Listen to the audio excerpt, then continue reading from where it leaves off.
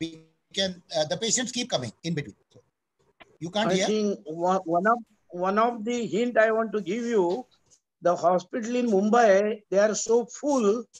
All the group of my, my colleagues and all this, we are only worried if you get it and if you need admission, Then you we hope get a in place. spite of we are running the hospital where I'm attached, there are COVID hospitals, three No hospitals, places. there are Ah. COVID hospitals, but 11th hour, that hour, you may not get the place. So we are worried about that more than anything else. Being the part of the COVID team, being the part of the hospital, but still the hospitals are so much full that we are really worried about it. Yeah. I think yeah. same thing will happen with the other places also. Yeah, yeah, yeah, yeah, yeah, yeah, yeah. No, Dr. Saple, it happened in our hospital. Uh-huh. Our own consultant Yeah. Uh, fell ill, and since all the beds are full, we couldn't give him a bed. Uh, then, then they see your own consultant, own hospital. they're see, that is that is the thing we are worried. No, and Suppose- being a corporate hospital, the management doesn't seem to care. Yeah, the, the, I agree. with See, this is the whole problem. This is the problem with corporate hospitals.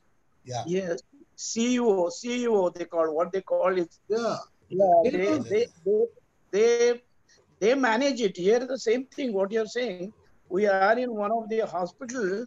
CEO, all admissions are through CEO, not through consultant.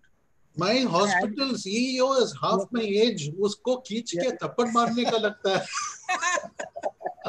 He's come from some management school and he's sitting and calling the shots. What does he know about the commitment of doctors? That's right. That's Seriously. right. That's right. I think still two minutes more, then I, I think Ra- Ravi won't have that problem because you know Ravi has got 100 bedded hospital of his own. Dr. Patwardhan, are you aware of that?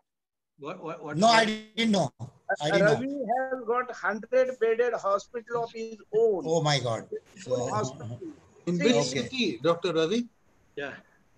Excuse me, sir. Uh, sir, it's 5 o'clock. So Yeah. just wait for the uh, 10 seconds, 10 15 seconds. I will make it you live. Okay. okay.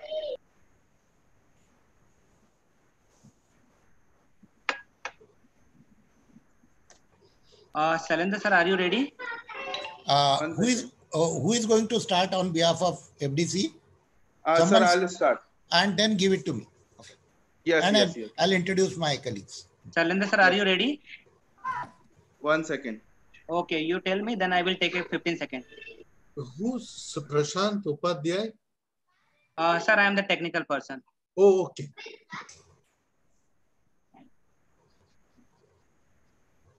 Okay. Ravi Rathod also is here. Good, welcome. Dr. Ravi here. Dr. Ravi, Uh, Ah, sir, hello, sir. Hello, hello, everyone. Hello. Namaskar. Namaskar, sir. Namaskar. Namaskar. Namaskar. Namaskar. Namaskar. So nice to see you, all of you. Yeah, yeah. Uh, Shalendra, sir, you are live. Yes. Uh, good evening, doctors.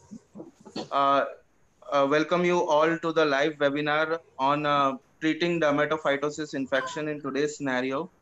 Uh, we have a uh, eminent uh, dermatologist from uh, all over India who is going to uh, share their experience, uh, their uh, treating strategies with all of you uh, that how they are treating dermatophytosis infection in today's scenario. Uh, I'll introduce uh, the moderator for the presentation, Dr. Narendra Patwardhan. Uh, he's a senior uh, consultant dermatologist from Pune. He is ex-president IADVL and ex-president IADVL Maharashtra State. So uh, without taking much of the time of everyone, I'll request uh, Dr. Patwardhan to uh, take up the following, sir. Sir, Thank over you. to you, sir. Thank you. Uh, thank you. Uh, uh, all my delegates, welcome. Good evening to everyone. On behalf of all my panelist friends, I welcome to this seminar on antifungal drugs. We will, in this one, one and a half hour, discuss all the probabilities, all the all the problems which we face in our practice uh, uh, uh, of while treating the fungal infections. You all know that for last seven to eight, we have been facing these menace. This has spoiled the quality of life, increased the financial burden on the families. The fungus has become notorious. About 10 years back, when it was going to respond, it was responding to a simple drug like riboflavin and local miconazole, cloconazole. Now it is no more responding to that. There are lots of issues in this fungal infections, and uh, we will be discussing in this one and a half uh, hour. Uh, I would like to introduce my panelists. Uh, we have Dr. Saple from Mumbai, Dr. Murlidhar Rajgopalan, then we have Dr. V. Ravi from Kakinada, and we have Dr. Ravi Rathod. All eminent dermatologists, well-known figures in uh, uh, the field of dermatology. And without uh, wasting any time, we will start the ball rolling. Uh, can I have the first slide, please? Okay, please mute everyone. Right.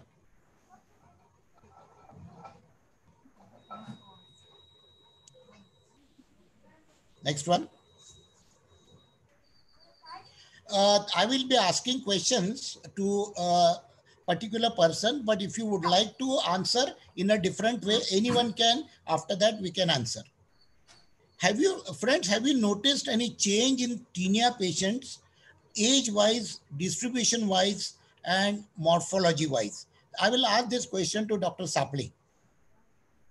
Yeah, uh, Dr. These are good questions because when you talk about this age-wise, distribution-wise, what we are facing in last seven, eight years, we are seeing what we call is the atypical presentation, extensive tinea, we are getting it, recurrence, relapse, and even, uh, even the patient, the lesion uh, uh, resolve, the itching persists, pigmentations, and now coming to hardly used to see in pediatric practice.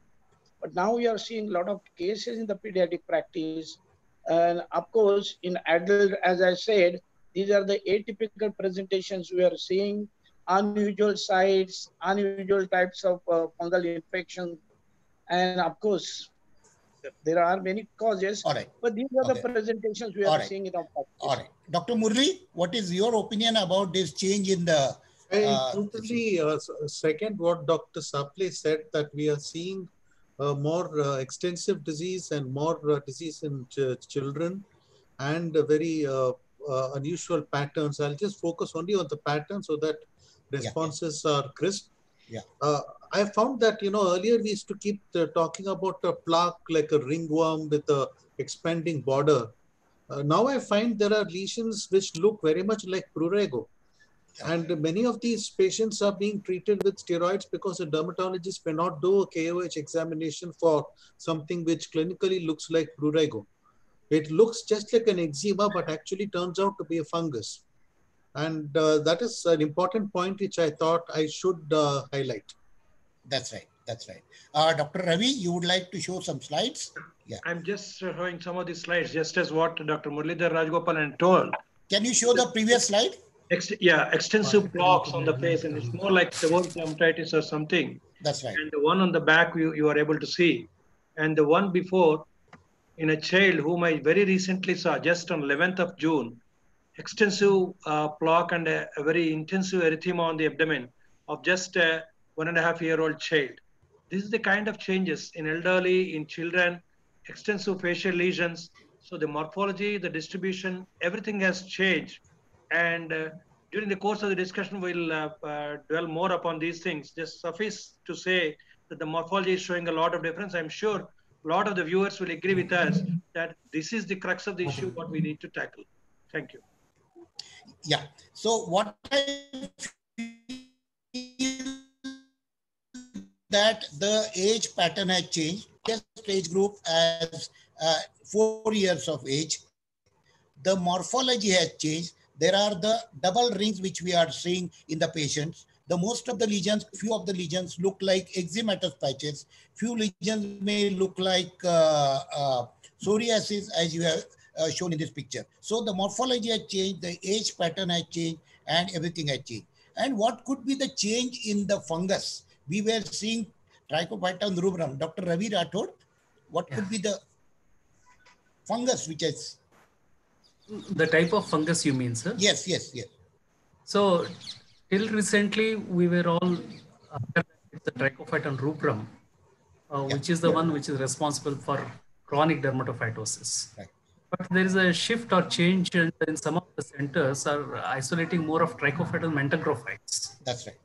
Uh, tha- that's a change in the, the shift from uh, regular Trichophyton rubrum infection which we used to see. And in, I just want to add a few more things which my colleagues have told. I have seen patients as young as three to six months of age having Oh. infection. That too, uh, an NRI who had come from Canada.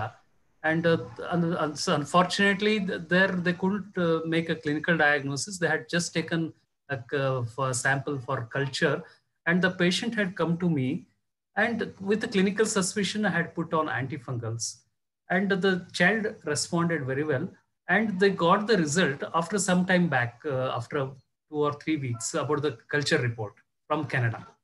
So All that say it is a global problem now. It is That's right. That's right. That's right. India. Okay. All right. Then we'll go to the second question. Can you share the second I- question? I think Dr. Patwardhan, Yeah.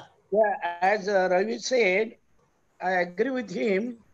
But they, as a Trichophyton program, but there is one paper from Calcutta of Dr.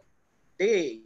Mhm. He said, of course, there Yeah. are various papers from the various findings epidemiologically, but he Mhm. said Trichophyton verrucosum Yes. is almost 60% in their finding. Okay. 60%. And one of the mycologists I had a talk, Uh-huh. they said, sir, now zoonotic species Uh-huh. are be- becoming uh, anthropophilic. Okay. The, the, uh, the trichophor, uh, tricho, uh, tri, uh, this uh, Microsporum canis, uh, that, that's why they're talking now. All right. Okay. Yeah. That's very good. Thank you very much. We go to the second questions. Uh, Then can I just add a little you, bit here? uh, yes, yes, yes, please. Yeah, on Yeah. the screen, I have just shared our lab data. Over the Uh-huh. last three and a half years, we have this 1668 cultures where reports are available. Okay. Can you share the, can in my anyone own, my the own screen? hospital laboratory, we have a full-fledged microbiology department. We do KOH regularly and also culture where indicated, where the, I'm finding some tough questions. So Trichophyton mentagrophytes has occupied more than 50% out of 1668. okay. 850 cultures have co- come as Trichophyton mentagrophytes. Mhm. But I invite the attention to column six and uh, five and six, Aspergillus and Penicillium species. When you give me little time later on, I'll show some of the clinical and microbiological correlation here. These two are accounting for 100 cases out of this, uh, close to 8% of the cases. So Okay. there are several species and we need to really put our heads together with the microbiologists and dwell upon this those seemingly resistant cases and others the species may hold the key for us that's all what i want to uh, tell through this slide That's right. But uh, did you see the slide? I couldn't see the slide just now. uh, Uh, we could see, we can see a slide. Okay. All right. Okay. Fine. Fine. fine. uh, All right. my slide is on the share with the table All right. Okay. All right. Okay. Uh, we go to the second question uh, for the panelist. What are the variables in the history, examination, and investigations that decide how you will treat the case of tinea? That I can address this question to Dr. Murlidhar. Variables in the history, examination, and investigations. uh, ultimately, uh, you know, the history tells us whether this is a fresh case of tinea. Is it a recurring case? Because, you know, most of us are tertiary care dermatologists. Yes. So the history itself will tell us whether it is a primary case, a naive patient, untreated patient. If he has been treated, what are the kind of treatments he has taken? Because if the patient has been exposed to combination drugs, then uh, we can expect uh, slightly uh, more prolonged duration of time for response. Uh, when it comes to uh, the history, also the activity status of the patient, what are their personal hygiene habits, what kind of clothes they wear, all this is important for us. So we really need to spend time now because uh, we can say that uh, dermatophyte infections has indeed become a big epidemic in India. And so we need to spend time on the history. As far as examination is concerned, the extent is very important. And many a time it is, uh, we, we, may, we may miss areas where fungus is present. So uh, it is not enough to just uh, look at one site and say that, okay, fungus is there. You're going to have to see the entire body and uh, then say, yes, this is the extent because the classification of uh, the fungal infections is going to change. Because, for example, you can have trichophyton rubrum syndrome where yeah. four to five different sites are involved at the same time, which is where the management will change if you're going yes. to look only at the groins. Yeah. And uh, investigation wise, I don't think we need anything more than a KOH. Uh, but of course, if we have any suspicion that the patient uh, has a protracted course or has uh, gone into uh, drug resistance or has gone into relapse or is uh, not responding to therapy, then you might have to look for uh, any evidence of systemic immune suppression, like what happens in diabetes, any other drugs. And, you know, uh, since we are going to start them on medications which can have potential serious drug interactions, you also need to get a very good history of what are the other drugs that the patient is going to get. And if you're trying to think of azoles in these patients, uh, most times I find that off late, whereas earlier two weeks of an azole was enough, nowadays two weeks of an, of an azole is just not enough to enough. treat a fungal infection. That's so right. a baseline LFT is, I think, important when you look for investigations with relation to the drug per se. All right. Uh, uh, Dr. Ravi Rathod, do you do KOH preparation in all the patients or you have some criteria for doing KOH and subsequently the culture? Which are the patients whom you go for KOH and then culture? KOH as a routine, we are not doing, sir. It is only when we suspect that uh, if it doesn't classically fit into any fungal and dermatophytic infection. That's right. Or uh, especially like in tinea incognito or where the morphology is altered okay. or where totally atypically looking. That's we right. get a KOH done. And um, as far as the culture is concerned, culture uh, we rarely get it done. I feel it's more of academic interest because it takes two to three weeks at least, and uh, by the time uh, we cannot keep on waiting for the culture report to come. So generally, KOH we do quite often, but yeah. more so in patients where we have some amount of suspicion of other diagnosis as well. All right. Okay. Dr. Murli? Uh, Dr. Yeah. Patwardhan. Yeah, one minute. One minute. Uh, let Murli answer, then uh, Dr. No, I, I, I broadly agree with what Dr. Ravi Rathod said, but uh, I would just like to say that uh, there is a method called as the MALDI-TOF available, and uh, sometimes MALDI-TOF is required when you are suspecting fungal drug resistance. But the unfortunate thing is there are only about three centers in India which do it. We are doing it. So once in a while, we just uh, do the MALDI-TOF assay also. So that is as far as the culture sensitivity part is concerned. KOH, yes, in most cases, I agree with what Dr. Ravi said. We don't need to do it in all patients, but I think in due course of time in the future, it will be good if we make it a standard of practice. All right. Uh, Dr. Saple? Yeah, uh, the Murli has made it very clear. See, the KOH preparation is so simple it should be our clinical practice in our clinic. What you require is a five minutes or your assistant, somebody can keep the scraping after 10, 15 we can do, but in another, so I entirely agree with that point. But about the history, one of the point I would like to add, the compliance of the patient, that is very important because patient go from one doctor to another doctor. So in history, apart from whatever Murli has said, all points I entirely agree.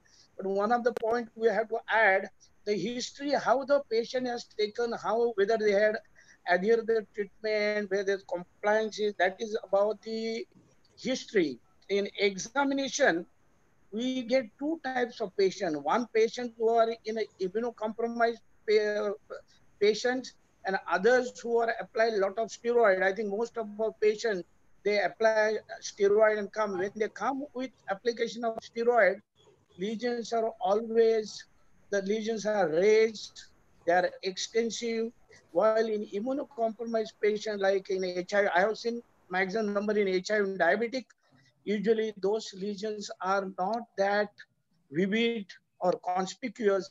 The border is also diffuse, not lined by those papules. So that is in the history. And of course, the culture and KOH, but I, I, I, I have KOH preparation. We do it our clinic every day. All right. Yeah. Okay. Uh, Dr. Ravi would like to add anything in this? I mean, about the culture, uh, the important thing what I found is that but for the number of cultures I am doing, I would not have chanced upon these alternate organisms which are uh, accounting for it. And of course, MALDI-TOF, I agree with Dr. Muralidhar when he said MALDI-TOF is it's a state-of-the-art procedure and uh, very few centers have it. I'm probably in due course of time, I'm going to have one in my own hospital. But you know, this is uh, affordability also is a factor. But today, when we are empirically starting a patient on anti-oral antifungal of our choice, at the same time, by the time he comes for a review, we are very likely to have the culture report within the third and fourth weeks. So then, if there is something that is there, we can always uh, make an alteration of our treatment schedule. All right. Okay. Uh, thank you. Uh, we come to the third question. Now, suppose we have a classical case of tinea cruris involving the groins and few lesions on the gluteus.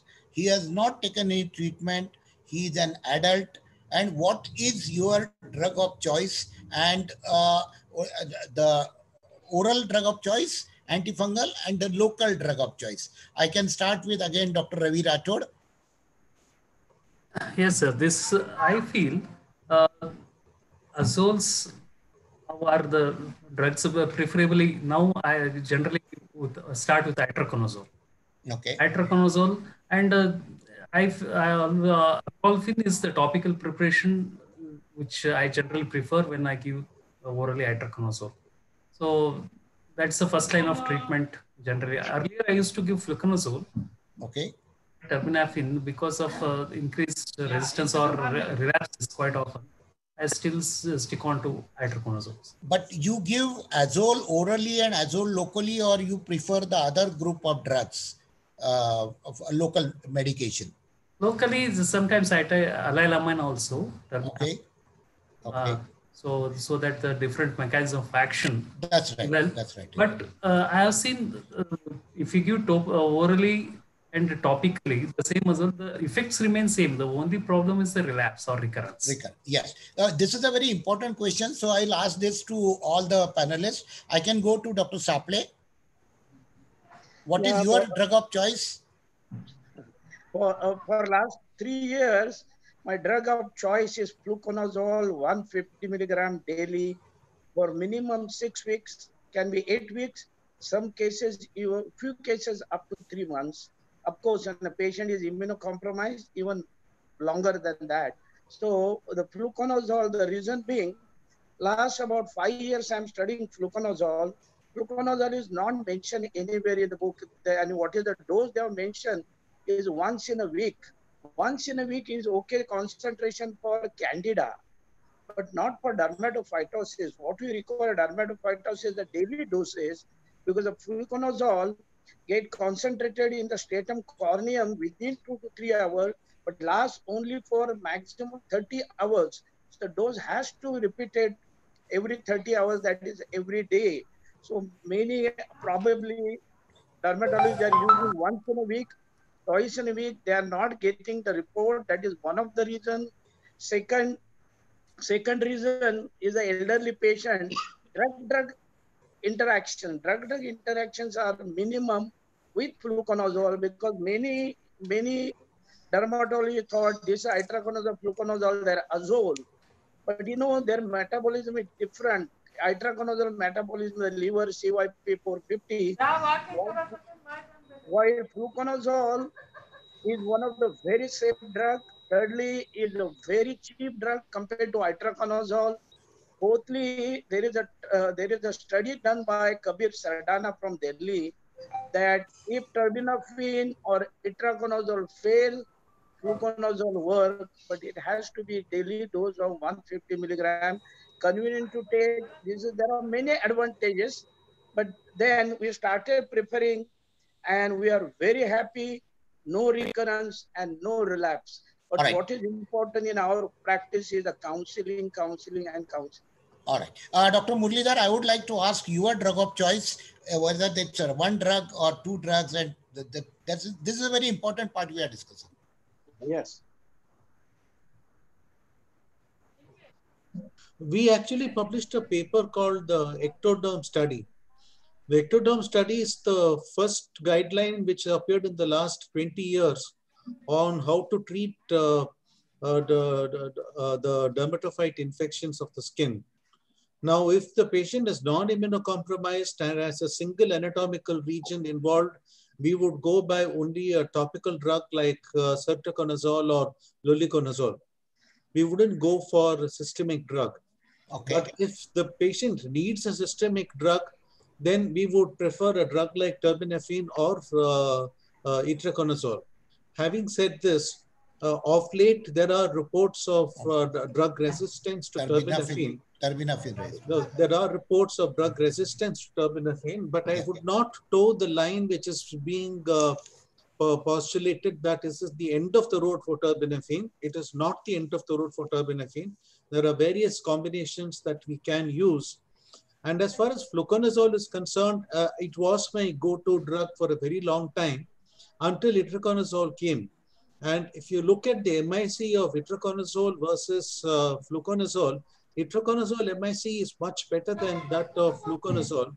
Fluconazole is more of a fungistatic drug, and the doses of fluconazole that you need are much higher than what you're going to need for uh, itraconazole to get the same degree of effect. So we need to consider all this. And in patients who, uh, for some reason, especially due to drug interactions, because both uh, itraconazole and fluconazole are going to affect the cytochrome P450 enzymes, in patients who are going to need an azole, but uh, they cannot take it for some reason, we, we still have griseofulvin, which earlier was thought to be fungistatic, but today we know is more fungicidal. All right. Uh, very good. Dr. Ravi, what is your drug of choice? Yeah, I, I would go either for itraconazole or fluconazole as the first line of choice. Terbinafine is not my first line of choice. But one thing what is missing in current literature and in all uh, current expert opinions is ketoconazole. I'm a great fan of ketoconazole. I'm aware of the first article that appeared in uh, New England Journal of Medicine about five years ago, linking ketoconazole to dermatophytosis in, as far as FDA approval is concerned. As far as India is concerned, it's not yet banned for that use. It is very much in vogue for that. And uh, what I, in my experience of 33 years, what I found is one single case of jaundice and one single case of fixed drug eruption to ketoconazole. This is the only thing I uh, found. And in 70 cases where I did a liver enzyme study pre and post ketoconazole, four to six weeks therapy, I didn't find any change at all in the uh, liver enzyme levels. All right. So I find ketoconazole to be a very valuable molecule, and oftentimes I'll be using ketoconazole orally also. So of course, But- topically I use any of the things available, including miconazole and uh, uh, clotrimazole. All right. Uh, Uh, many, many in times fact- uh, people, yeah, please go ahead. Ah, in fact, uh, just to add to what Dr. Ravi said, uh, ketoconazole is the drug of uh, FDA approved drug for all these infections. The, uh, all the rest of the things, I think they are most of the time off label.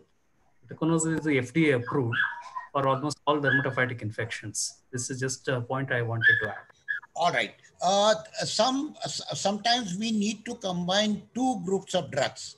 Some combine azole with griseofulvin and give a local medication. Some combine griseofulvin with the other drugs.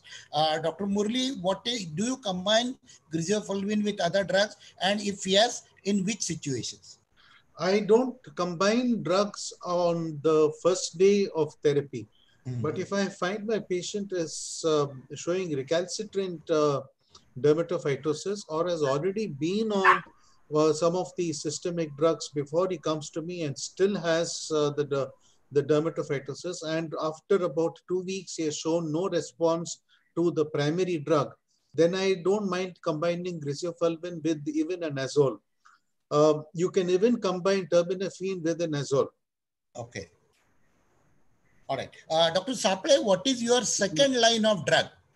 Suppose think- your, I- I think, Dr. Patwardhan, I would like to add to the previous question. please go ahead. co- combination of the drugs see there are uh, there are a lot of recommendation where they can combine and according to whatever science you can combine all drugs fluconazole or terbinafine can be combined all drugs can be combined but about 3 years before because when you combine drugs the toxicity increases the cost goes uh, goes up it affects your adherence the to- a lot of problems are there so we, we about three years before, or no, four years before, we did a study with itraconazole 100 milligram BID, where almost 40% of the patients they have taken multiple systemic antifungal, and those patients who have failed even on itraconazole, we included. We followed good adherence and the compliance, and the patient showed all response. So since then, we, we in our practice we find the combination treatment is not needed if your compliance and adherence is good that is our one of the experience uh, what is the next question No, I was asking uh, about, no, but Murli wants to answer something. Please go ahead. No, I, the very brief point, I agree with Dr. Saple that this combination of drugs is very rarely done. And I must say that this, I answered the question because it was put to me and it is out there in the literature about these combinations. But even in practice, rarely do we have to use the combination Yes, if compliance yes, yes. and uh, general hygiene measures and preventive measures are followed properly. yes correct entirely agree agree Okay. Uh, Dr. Ravi Rathod, what percentage of your patients need this two, two or more type of drugs and uh, uh, under what circumstances? So generally, I stick on to single drug. Okay. What I find is patients do respond. It's not that the patient are not, not responding. Either they are taking itraconazole or fluconazole or terbinafine. The problem most of the time is the relapse or recurrence. Okay. Uh, and uh, 90 to 95 percent of the patient respond to single drug and uh, the if it is given adequate adequate dose and for adequate period of time. Only thing is as Muralidhar sir said it is the hygiene. It's the hygiene which matters most.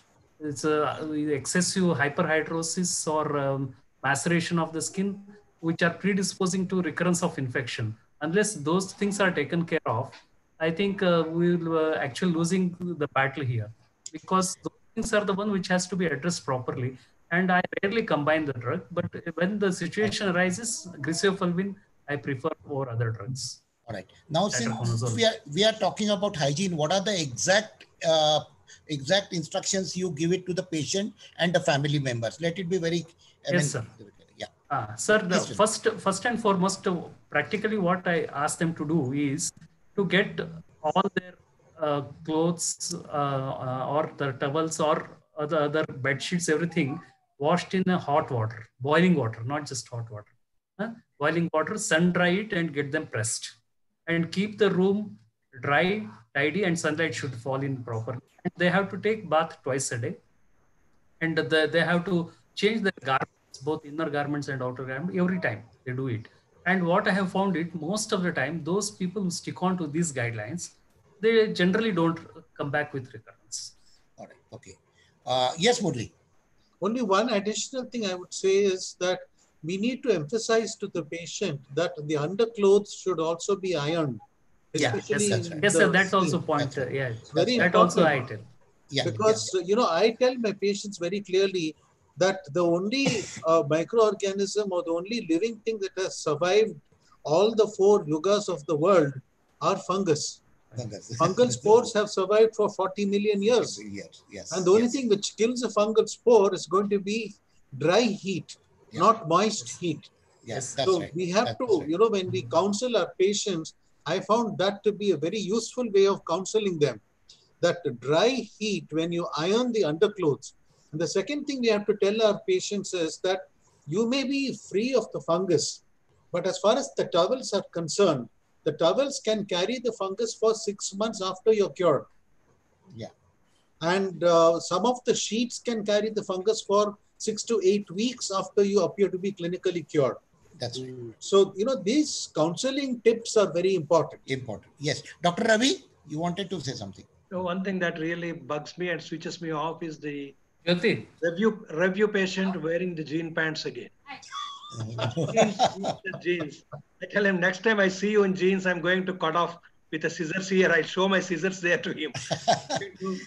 uh, cut off your jean pants into pieces. So sir, I mean, he'll pay you, sir, for it. Nowadays, it's a fashion. the problem with the jean pants uh, for youngsters is that they need not iron it. What are all the measures our predecessors spoken? People can do away with all these things, wear a jean pant endless for one month, two months, three months. So they've just put it on the hanger and again wear it after a gap of one week or 10 days, something like that. So this is, I think, one thing we should stress really to the youngsters. Yeah. Along with that, what I do is usually in our families, we wash the clothes together, uh, either in a bucket or in a washing machine. So I tell them to wash it separately, never to share the towel, and never to share the soap also. How much it is scientifically, I don't know, but that works because the patient really follow this. These are the simple instructions. Uh, doc- yeah, yeah, Dr. Murli. a v- very very small point i don't know if it fits in over here but you know we also should counsel the patient about how to apply the uh, antifungal and i tell them to apply it for about one to one and a half centimeters outside Beyond the that, yeah. uh, margin. margin of the patch That's right. phone kar. Dr. Saple? Yeah, you know, I have uh, apart from this, any patient comes, I, I, I think we should give the printed form to the patient. We should uh, spend some time with the patient. What is the first thing? We, we just write the patient must take treatment for six to eight weeks. Six to eight weeks is the first thing. Secondly, all family members should be treated at the same times if they are affected. That is very important. Thirdly, most of the po- uh, points are covered, but no use of steroid. We just write in the red pen, no use of any steroid ointment. So all these instruction we uh, we have a printed instruction. So each and every patient get that printed form. Uh, all patients should be treated at the same time. Treatment should be six to eight weeks of uh, the washing of clothes, ironing, and no steroid preparation. I think this is the instruction usually we give in our clinic. Yes, Dr. Murli.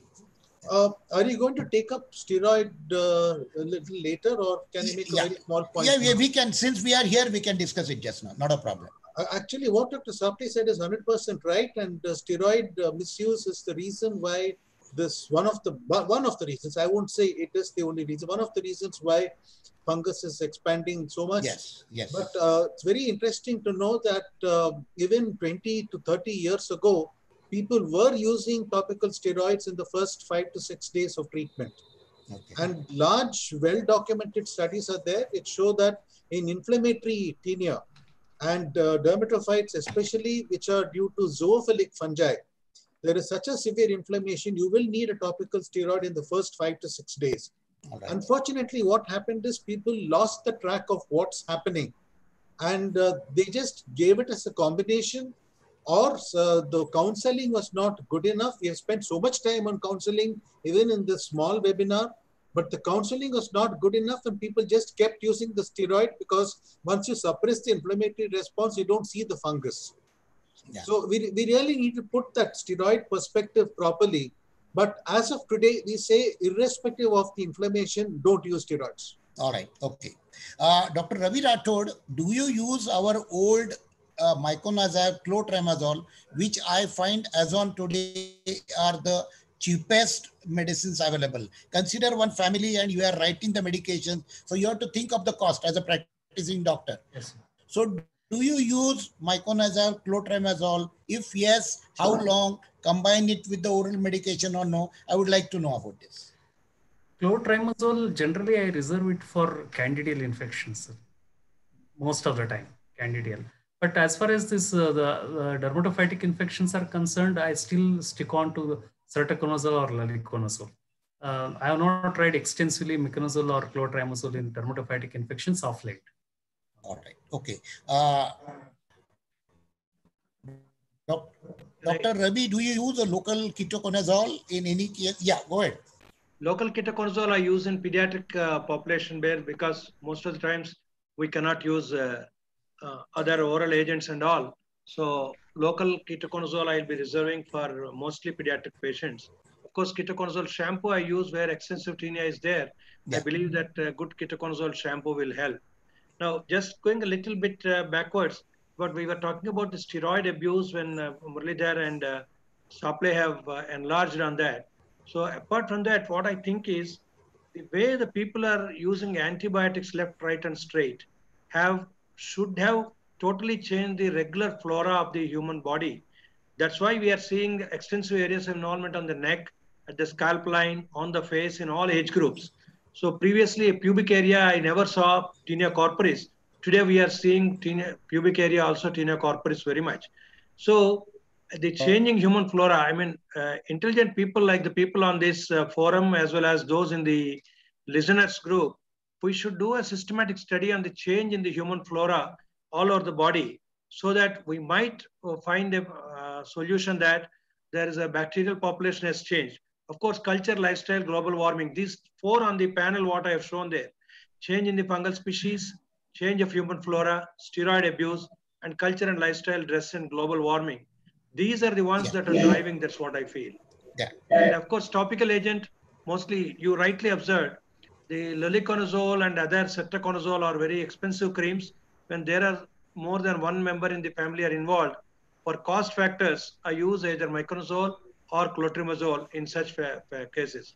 Where minimal involvement is there, of course, I go for luliconazole topical. All right. Dr. Murli, I think there's some very important point was made. Uh, two issues I'm going to take up. One is your original question about miconazole. yes, yes. I find miconazole to be particularly useful in tinea interdigitalis Yeah. because miconazole has some degree of activity against corynebacterium also. And in tinea interdigitalis, there is so much maceration that maceration is due to corynebacterium rather than the fungus alone. So it's a very good drug to use in tinea interdigitalis. Nowadays, you don't get Castellani's paint and things like that. The second thing I want to just uh, emphasize is uh, uh, uh, Dr. just brought out the issue about uh, the extensive use of antibiotics and how it has uh, affected the fungal infections. Now, he also recommended that a study should be done. I want to br- uh, bring out that these studies have been done already. And because of so much of antibiotic misuse, not just steroid misuse, uh, we are in a state of what we call as dysbiosis. In dysbiosis, the normal microflora of the skin changes. When that happens, the immune sentinels of the skin do not work anymore. And the most important immune sentinel of the skin, which does not work, is are the Th17 cells. So dysbiosis actually suppresses the Th17 cells. So definitely unwarranted antibiotic therapy is something which we should avoid for more reasons than one. Okay. Okay. I, actually, I'm very happy that you came out with uh, Castellani's paint. That was very favorite of my uh, teacher, Dr. Gharpure. And we still in an interdigital one, we get it done from, there are two, three pharmacies which are left in Pune. They were about 20, about 20 years back. Now there are only two pharmacies which are left and they prepare and give it to us. It's a, it's a brownish or reddish color uh, dispensing product and works wonders in case the other treatment fails. That's the thing. Uh, Dr. Saple, the patient has taken the treatment for four weeks or so, but still there is a failure, say after six weeks. What could be the cause and how do you tackle that? Treatment failures. Can you hear? Yeah, see, uh, most of the cases they come with the treatment failure. They are of a clinical clinical failure more than the resistance. If you have learned from the HIV, there is more clinical failure than the resistance. Yeah. And when there is a clinical failure, there are many causes. The drug factor is there, the patient factor is there, doctor factor is there, pharmacology. There are many factors there. But one of the common factors, what we have found in our clinical practice, patient has not been counseling properly. They have not been explained to the patient properly about the duration, how important is the adherence. So that is the most common cause we have found in practice. Of course, then if you are using itraconazole, the instructions are different. You are using terbinafine, instructions are different. So I feel most of the dermatologists, they are so much busy in their practice, they do not give time to the patient explaining about the drug, about the adherence. Uh, that is uh, that is the main cause in our practice. So in my clinic, any patient comes from tinea, there is a separate doctor. He sits in a separate room, and the patient has been explained properly what is the importance of taking properly. So the most common cause in our was the adherence and the compliance compared to other things. All right, Dr. Ravi. Yeah, Dr. Saple, I agree with you about the counseling part. I mean, which we the standard practice here in my clinic also. But in addition to that, just to give you an example, last one week, I had three patients who have used three weeks of itraconazole very religiously in 200 mg BID. 200 mg BID, I'm telling you. My God.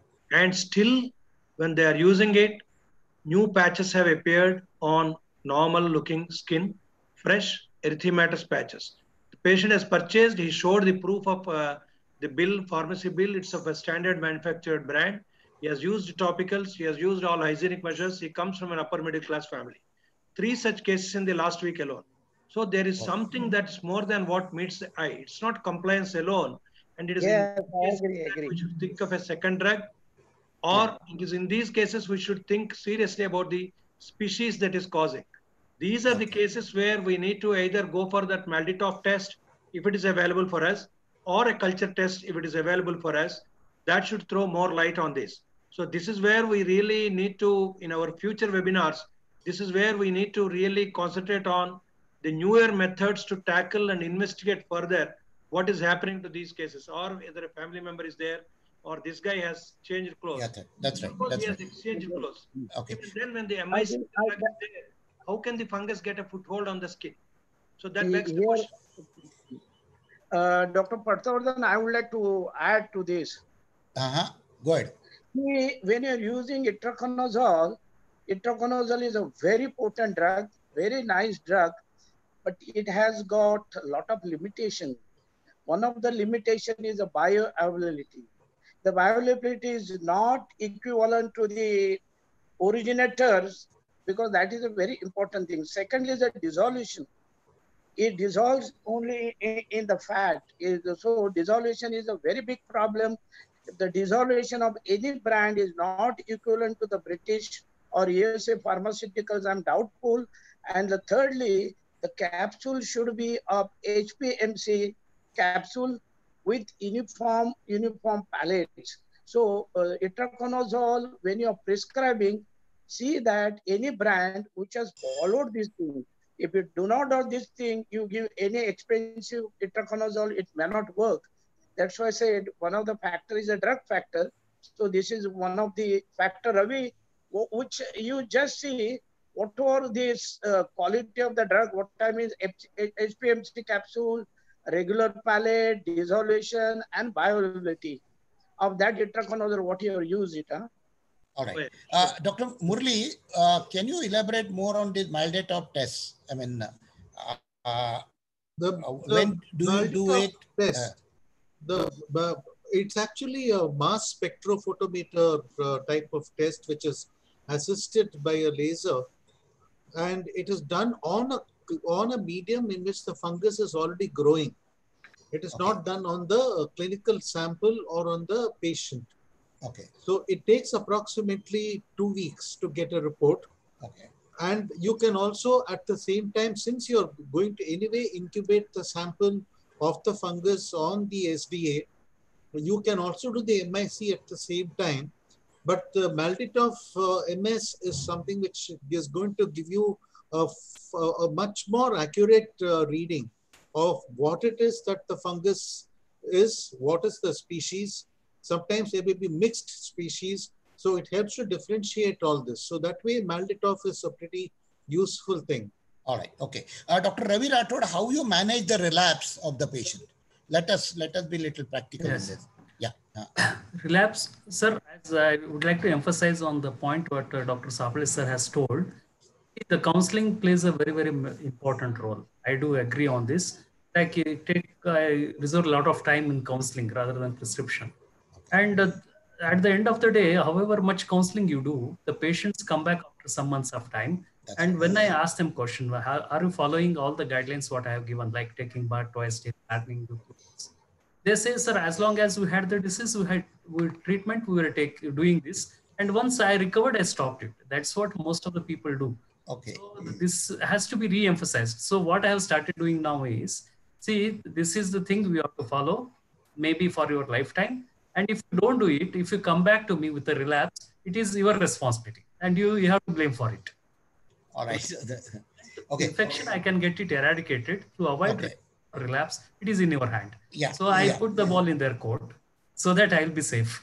Yeah. So Yeah. As far as the relapse and recurrence is concerned, uh, we don't have the facility to do what Rajgopal sir has and all. Uh, We don't and we have- don't have culture and sensitivity sensitivity facility also. So only thing I would like to just emphasize on the uh, itraconazole molecule. So there are certain I would like not, not to name the brands, but I have seen I have given a reasonably good molecule in a patient clinically suspected fungal infection and couldn't find any response. And I was damn sure it's a fungal infection.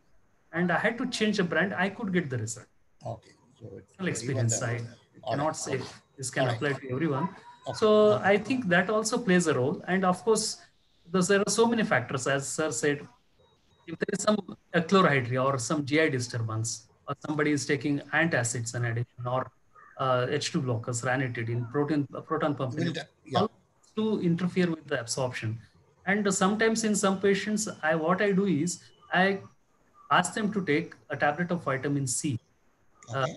for taking itraconazole, 15 to 20. How how does it help? How does it help? Uh, ju- just I read somewhere, sir. I don't recollect exactly.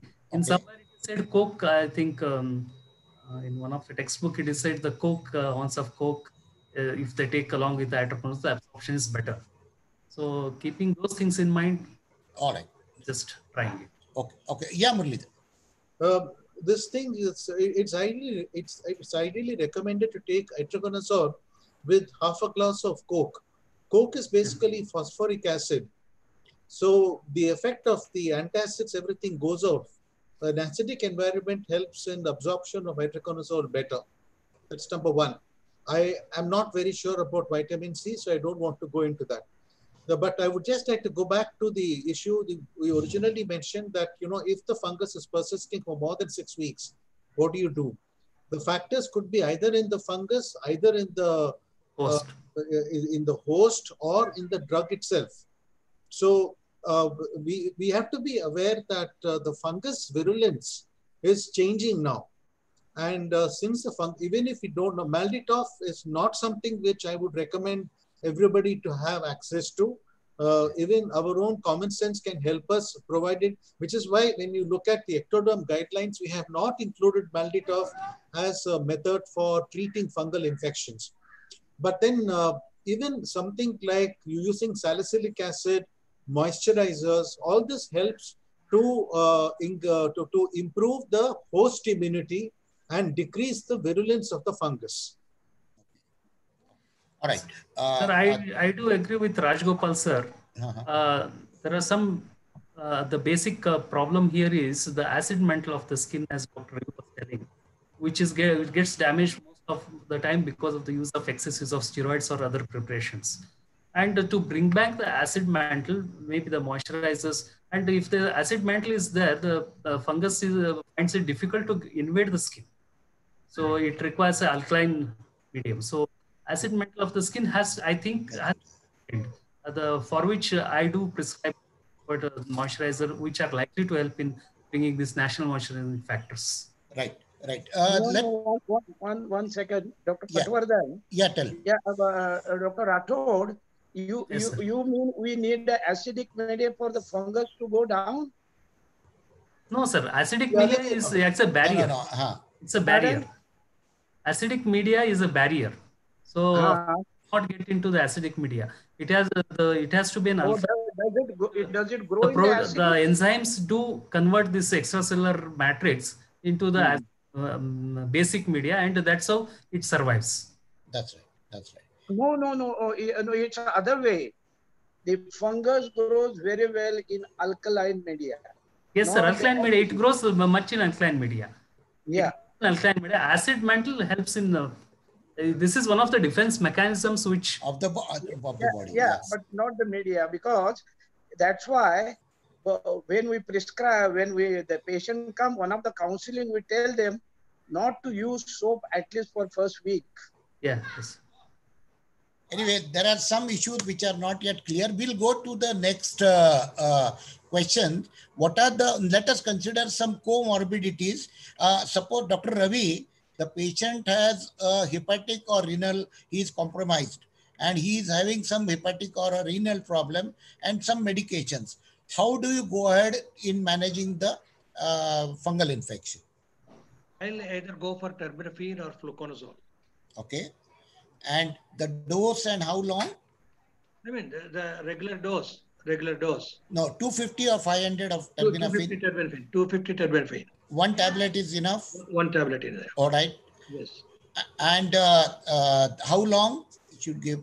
And I, I'll give, a, depending on the response, I give three to four weeks minimum. Okay. And then continue with that in case it. Uh, Continue with that, and of course, monitor the renal and hepatic parameters, and Uh-huh. certainly not use any drug uh, that is likely to compromise on those those things. All right. Okay. Uh, uh, anyone else would like to add in this? Yes, please. Yeah. So in case of uh, hepatic uh, problems, I do avoid itraconazole as well as terbinafine both because they get metabolized extensively in the hepatic system. So uh, I would like to prefer fluconazole.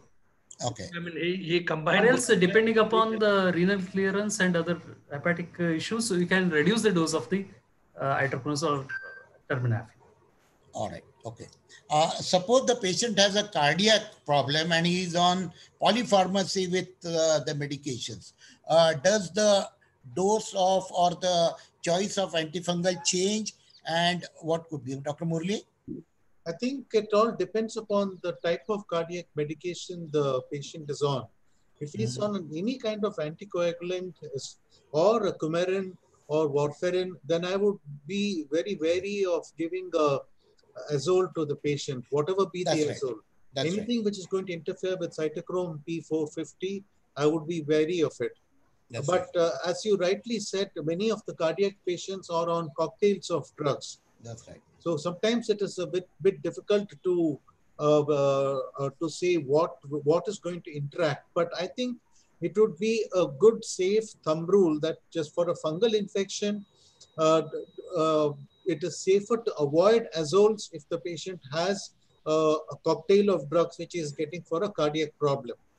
Having said this, we should also be aware that azoles by themselves, especially a drug like fluconazole, can prolong the QT interval of the heart.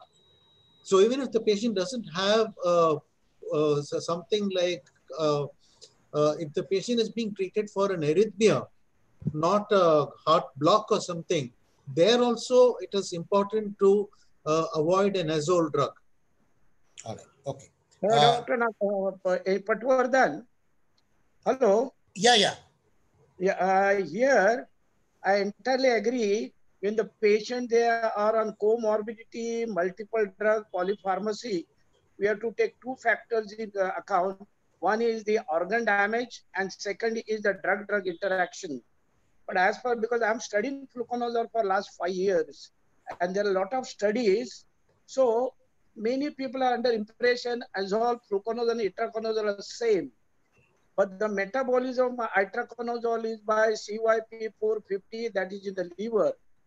Fluconazole is in the liver. There is very in a minor that is it is uh, it is metabolized by substrate 2C9. So it doesn't have any interaction with any drugs, which is whether inducer or inhibitor of the CYP450. So there is hardly any drug-drug interaction. Number two, as far as the QT interval, even I was worried initially, but there is a big study they have tried on 1,000 patients of HIV, fluconazole IV, and then oral continuously for six months. They have kept the record of ECG, and they found There was no change in the QT interval in 1,000 patients in Africa. So we don't have to worry. I agree. As a as all, we have to be worried. But this is the study. So fluconazole is drug you can give in all this comorbidity. There is hardly, in fact, terbinafine is a drug we should not give if the patient is taking antipsychotic drugs. So where the fluconazole is safer. But fluconazole can be given very safe. I'm using for last five years and we are using daily doses. Of course, not mention any. There is only one clinical trial by Dr. Uh, Singh from uh, Banaras Hindu University. He has used 100, uh, 50 and 200 milligram for eight weeks and found there are hardly any side effects and you're using comorbidity also. All right. Uh, Dr. Ravi, yeah, he wants to say. So one thing about itraconazole, there are reports of sudden cardiac uh, changes with itraconazole, and I do not use itraconazole in anybody who is about 60, 65 years. Okay. Itraconazole, I will not prescribe. I'll be very cautious with that. Okay. And of course, I fully agree with Saple. We have lots of experience with fluconazole, continued use, and it's a very, very safe drug for me. Uh, okay. What are the, what are the uh, studies which are published with fluconazole, Dr. Saple? You have extensive work with fluconazole. Yeah, So, what are the uh, studies which have been published with use of antifungals, uh, especially fluconazole, in tinea uh, patients? Yeah, correct. See, fluconazole is not drug, it was not a drug of choice for any dermatophytosis. It was not recommended for any prescription, but people started using it once in a week, twice in a week. Probably they were trying something should work because that was a big problem. But when I started working, I said first we know what is his pharmacodynamic, what is his pharmacokinetic, what is the drug-drug interaction, what is his concentration. So a lot of studies done by Kabir Sardana, where, where he has made it very clear the concentration of fluconazole is 40 times more in stratum corneum compared to itraconazole, terbinafine, and griseofulvin. Okay. Number two, bioavailability of uh, fluconazole is 99% Yes. in stratum corneum compared to uh, itraconazole or terbinafine. Thirdly, is the concentration. Of course, the MIC is very high, but MIC high is required because the dose of fluconazole is 150 milligram. If you give once in a week, twice in a week, you cannot achieve that MIC. Thirdly, it doesn't have any metabolism in the liver, so drug-drug interaction doesn't come in action. And fourthly, it's very convenient to take. You take before food, you take after food, you take during food. It doesn't make any difference, and it's All a cheaper, cheaper drug. There are so many advantages. All right. And all these studies have been published. Yes. Dr. Murli? I uh, have a small point to make. I beg to differ from what is being discussed now. Uh-huh. I do agree that the affinity for the fluconazole cytochrome P450 enzymes is not so significant as itraconazole. However, there is a warning on warfarin that if you take it along with fluconazole, there will be excessive bleeding. So we need to be aware of that. That's point number one. Point number two is that even a drug like phenytoin can interact with fluconazole. So let us not downplay fluconazole as a 100% safe drug. Third, what is important for us to know is that most of the studies of fluconazole have been done in patients who have yeast infections, Candida, not candida, dermatophytes. Yes. Now, Yeah. the yeast infections like Candida, they are the ones where fluconazole is primarily the first drug of choice, That's right. not in dermatophyte infections. That's right. All right. Okay. So we we discussed about the drugs and the various comorbidities. Uh, Dr. Saple, uh, Hmm. how does your prescription change if the patient is immunocompromised? Suppose he has a HIV, and does your prescription change in the immunocompromised patient or taking any immunocompress uh, immunosuppressive drugs? Does it change uh, uh, yeah, yeah. or it remains the same? Yeah, yeah. The first, I entirely agree with Murli. We need many more study about the fluconazole. Uh, yeah, I entirely agree with him. Now, talking about the immunocompromise, when the patient is immunocompromised, all of us we have to keep in mind in immunocompromise, there will be hardly any cases of resistance. because there is no resistance from the host.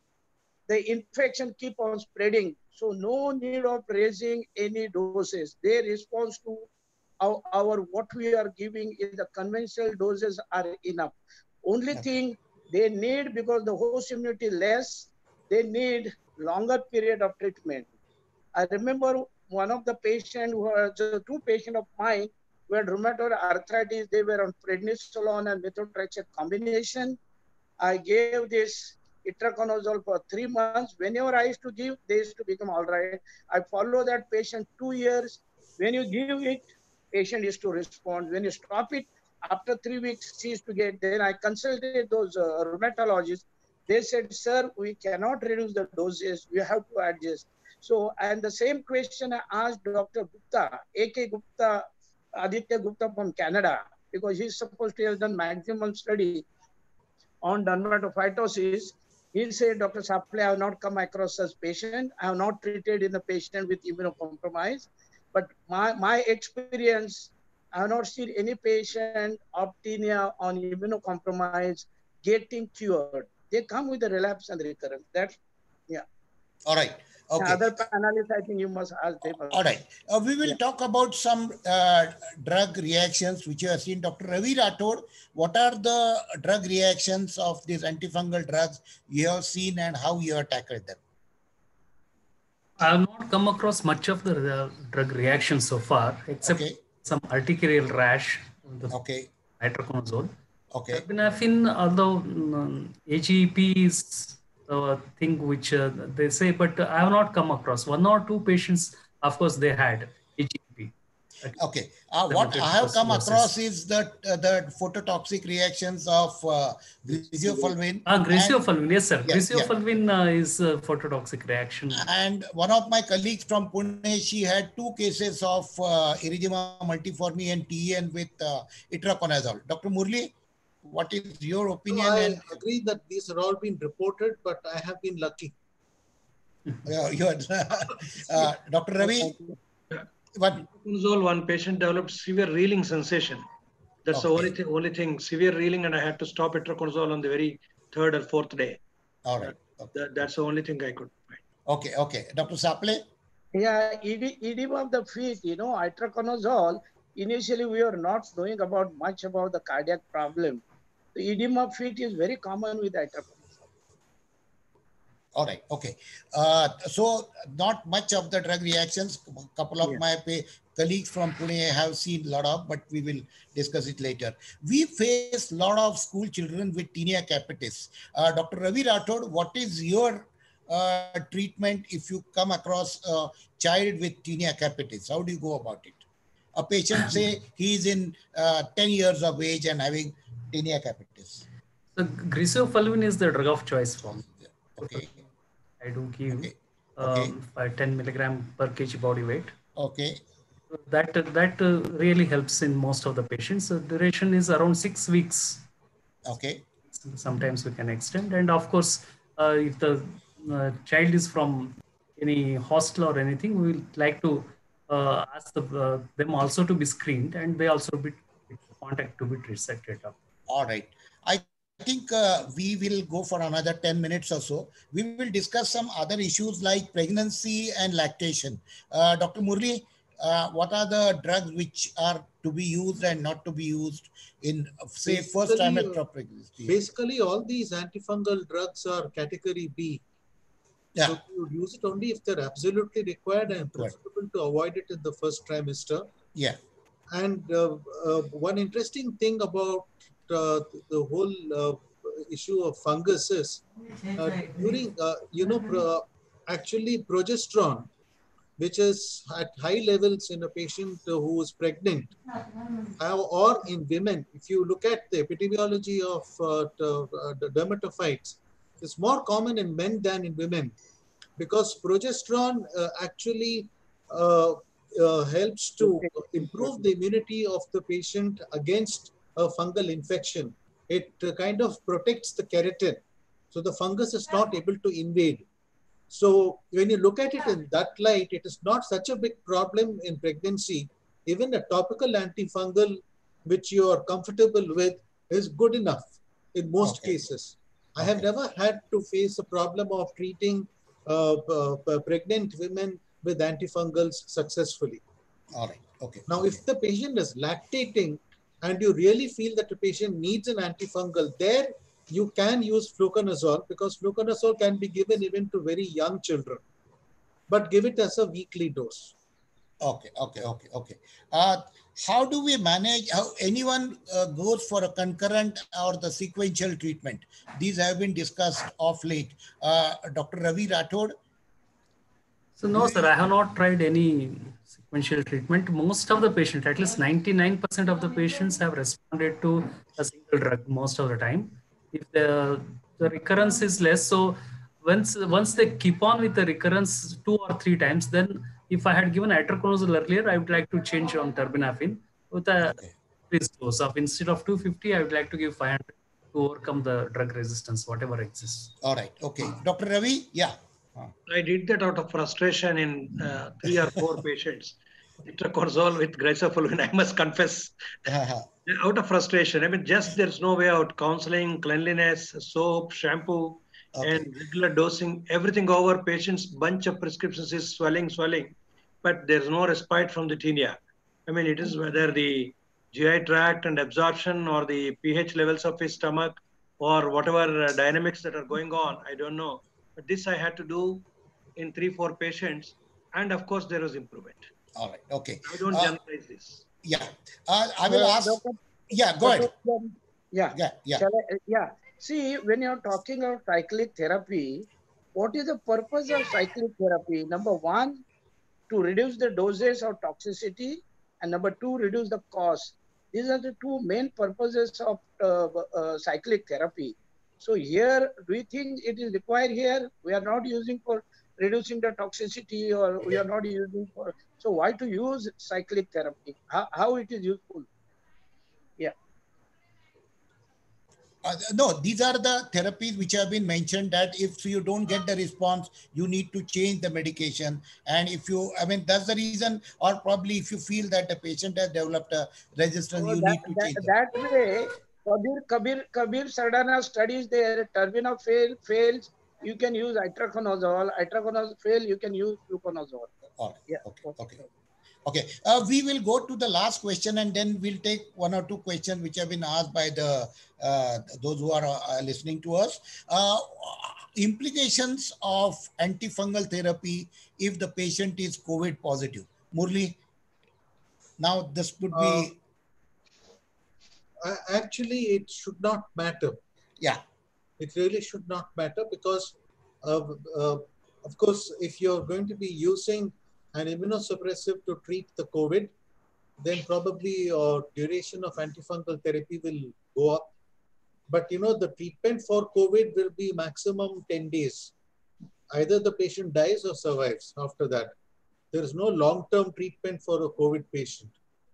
So I don't think there is much of an implication because you can go ahead and give a patient antifungals even if he is got active COVID in the ICU. Oh, And if you're going to be using a drug like tocilizumab or if you're going to be using favipiravir or if you're going to be using anakinra for severe COVID, don't yeah. interact with antifungals. In fact, covering them with antifungals is a good idea. All right. Okay. Okay. Uh, we'll take few questions uh, in la- next five ten minutes. Uh, the patient has taken itraconazole, applied uh, luliconazole, and he has uh, relapsed. Then the patient has been given terbinafine. He has been asked to use amorolfine, and he has relapsed. So, what could be the treatment? Uh, we know Dr. Saple is going to use fluconazole, but anything beyond that, we'd like to tell the patient. The way- Uh, because you're we'll asking ask- me? no, I will ask you last after at the end. Okay, okay, okay. yeah. So yes, Dr. Murli, and then So Ravi. pending uh, Dr. Saple's final verdict, there's one thing which I'd like to say is, no, these, no, because all these doses that we are talking about are very empirical. Yes, yes. And uh, we have I not really I looked at uh, weight-based dosing of antifungals for our patients. And that's one of the major reasons why probably uh, we are not so successful in treating our patients. So I think we are going to have to start looking at weight-based dosing for all our patients. We've done that for griseofulvin, but not for the azoles or for fluconazole or, I mean, fluconazole, if you look at the dosing, you have all sorts of crazy dosing regimens. Uh, itraconazole, some are using 100 PD, some are using 200 PD. I mean, we need a proper uh, uh, systematic weight-based dosing. That's the main thing I would actually like to bring in that our dosing today is empirical. All right. Okay, Sir, Dr. can, I, can I? uh, Yeah, yeah. Uh, sir, the, the, uh, uh, taking the cue from what Sir Rajgopal sir has told, see, when uh, it is uh, required to give itraconazole in pediatric age group, we give 5 milligram per kg body weight.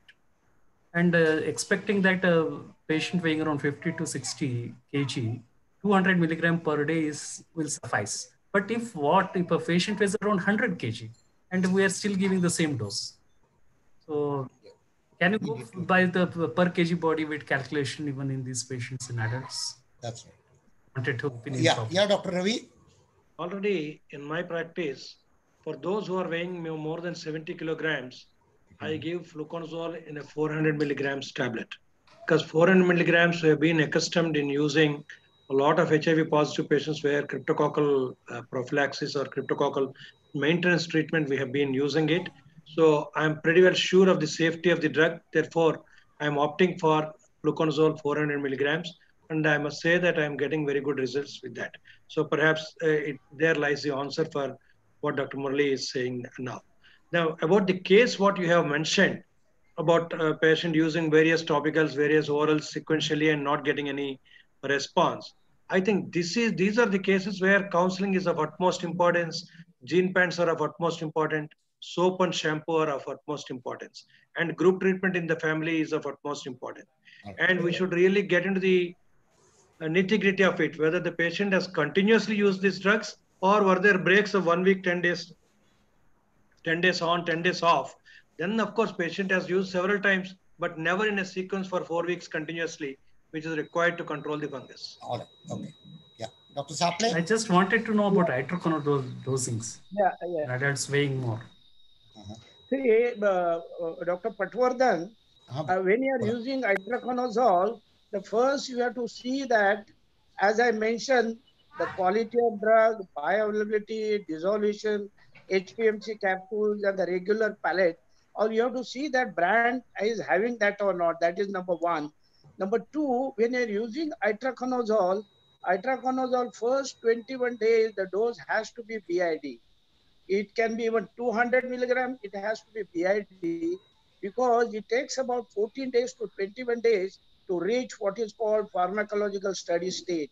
So initially, the doses are even higher. There has to be BID. So I do not know about this case, but you know, I said that we did a, a clinical observation study with itraconazole with the good adherence counseling. We did not get any patient who had any relapse. We followed for. Then we say when uh. the itraconazole is working, why not to try other drugs? We tried terbinafine with a good adherence council. It worked. We tried griseofulvin. It worked. So, you know, uh, our experience, people are taking adherence and counseling easy from HIV or learn.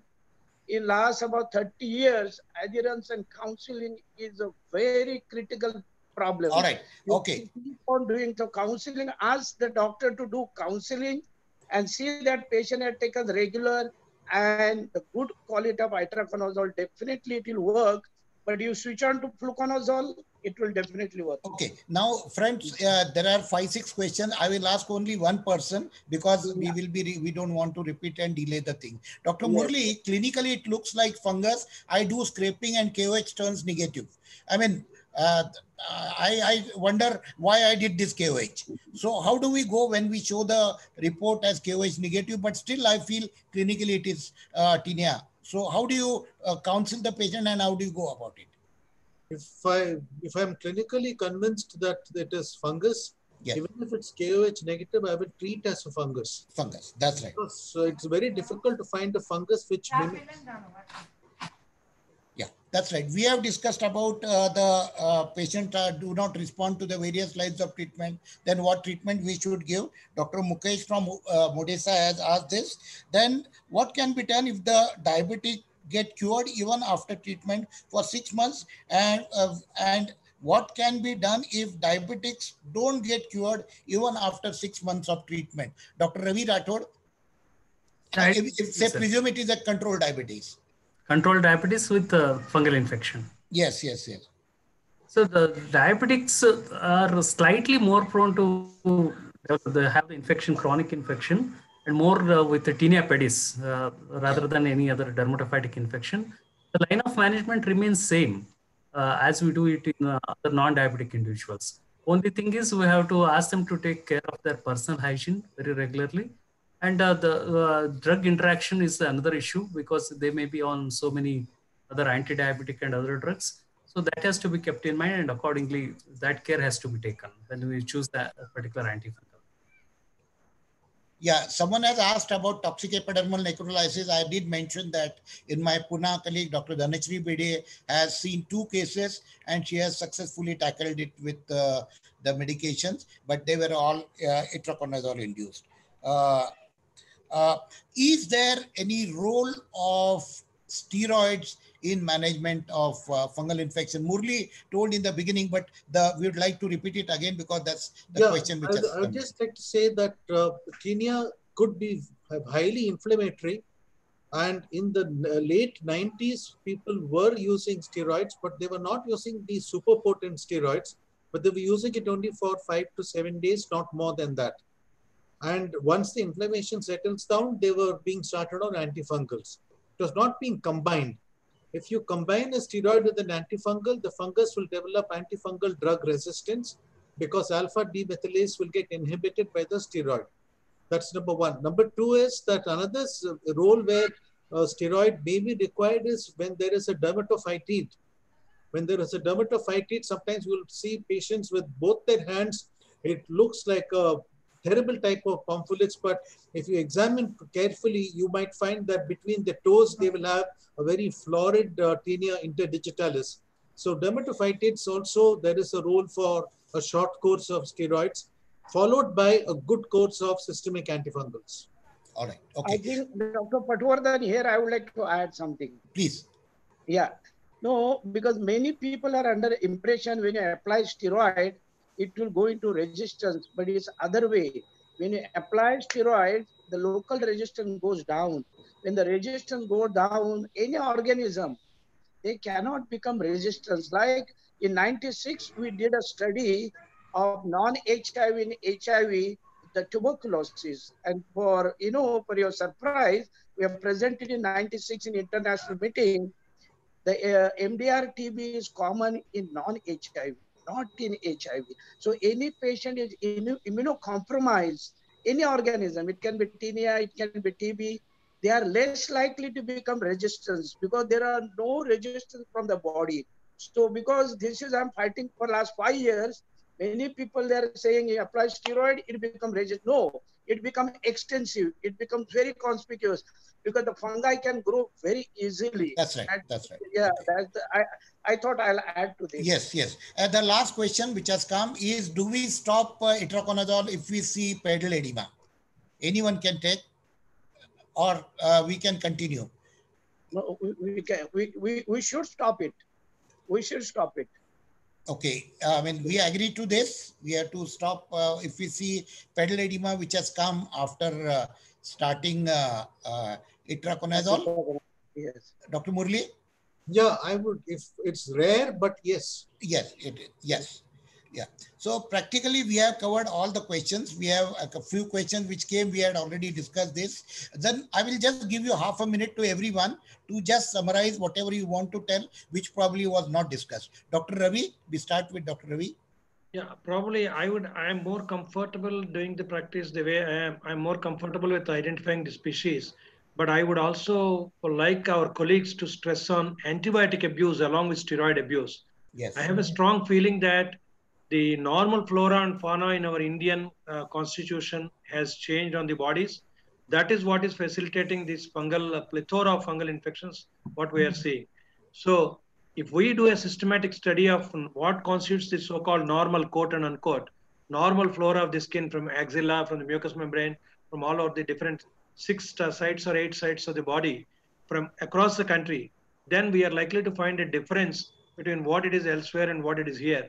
Then we can that can be a starting point to change the body dynamics rather than only thinking of pharmacotherapy We will be changing the body's interaction with the fungus. That's my take home message from this. Yeah, that's right. Dr. Ravi Rathod. yes, sir. The, the, see, sir, there are multiple factors involved in the pathogenesis and the drug resistance. So uh, we have to think more scientifically. As uh, Dr. Ravi said, acid mantle of the skin has to be taken care of. That's very important. And we have to look into the why the patient is failing on the regimen. Most of the time, it is because of the uh, uh interference with its absorption or because of the drug, uh, the efflux mechanism or whatever it is. So unless we uh, come out with some mechanism where we can address all these things scientifically, I think this problem is going to remain for a long period. Yeah, that's right. Dr. Saple? Yeah, uh, talking of the take-home message, the first message, people were talking about resistance, resistance, but we realize most of the cases is a, they are clinical failure more than the resistance. That, that is number one. Number two, we were talking of the drugs are not working, then we tried itraconazole work, terbinafine work, griseofulvin work, fluconazole work. But what is important, counseling, duration six to eight weeks, and adherence. That is uh, very important. And lastly, all topical agents use any miconazole, clotrimazole. They are useful. Only this newer like luliconazole, sertaconazole, according to that one of the uh, study, they are better than, but according to us, any local ointment, they are useful. All right. Dr. Murli? Uh, difficult to give a last statement after all the learned speakers have given this. Um, but I, I think uh, I won't repeat what's been said.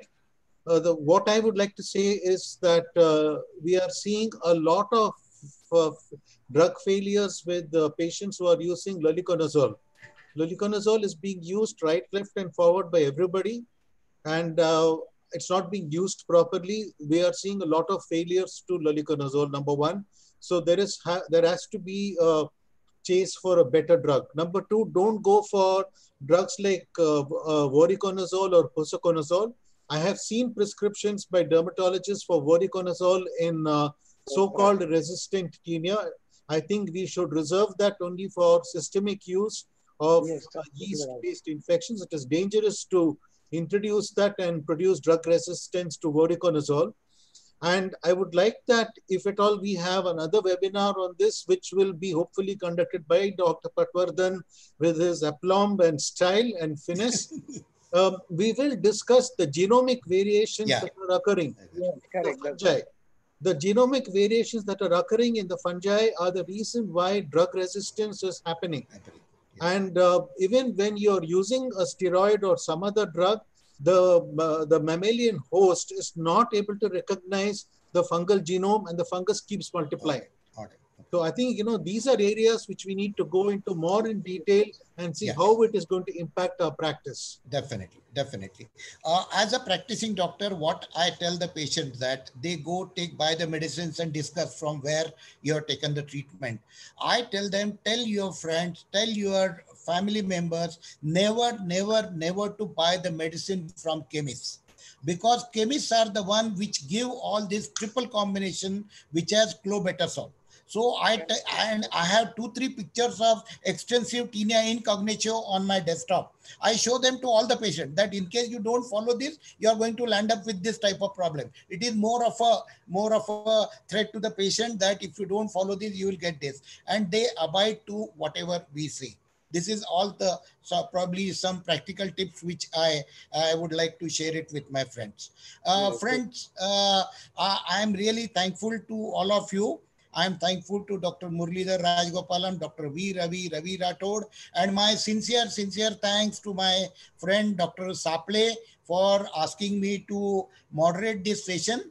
And really thankful to Dr. Uh, to the uh, uh, to FDC for giving this chance and uh, conducting this seminar on uh, Sunday evening. So this is a weekend now. Enjoy now. Good amount of webinars.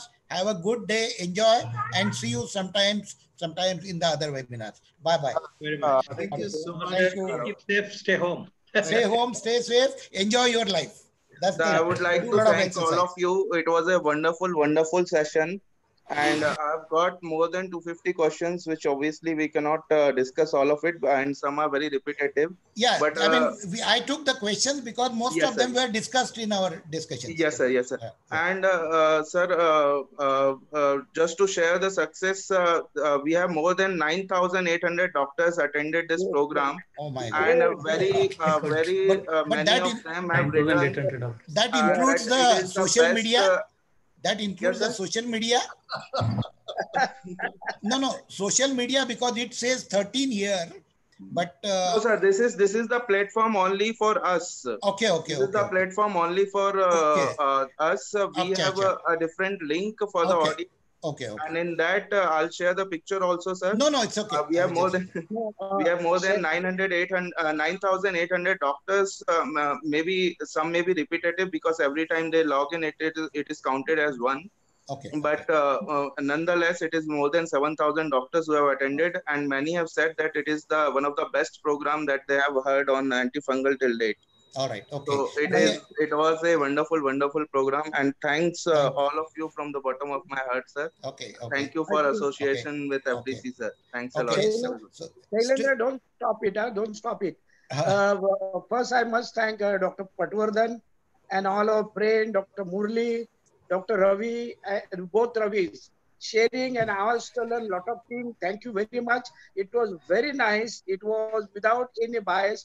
It was one of the nice discussions. So thank you again.